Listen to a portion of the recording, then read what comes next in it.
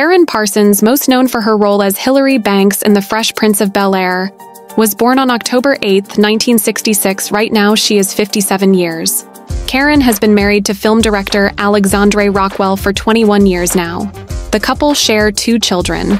Both their children are actors just like their mother.